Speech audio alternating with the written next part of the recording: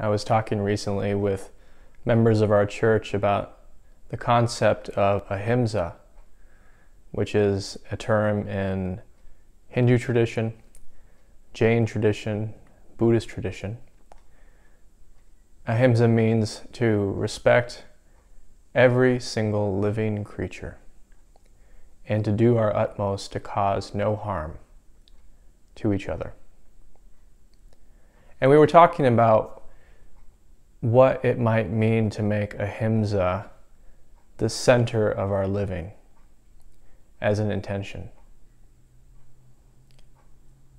And I've been thinking about what can guide us to that place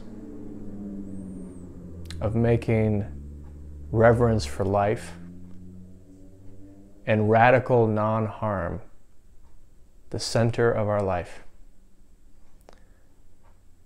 And the answer I've come up with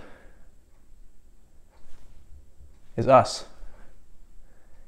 Here at the Unitarian Universalist Church of Youngstown, we are committed in our mission to lead not just ourselves, but our society into a process of transformation and healing and possibility.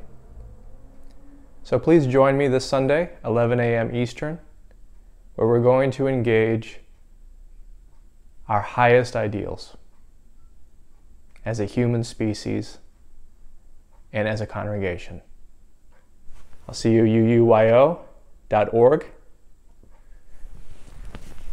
Sophia, our cat, will be watching on Zoom, and I welcome all of you across the world to join us via Zoom, via Facebook, via YouTube and I look forward to seeing you soon.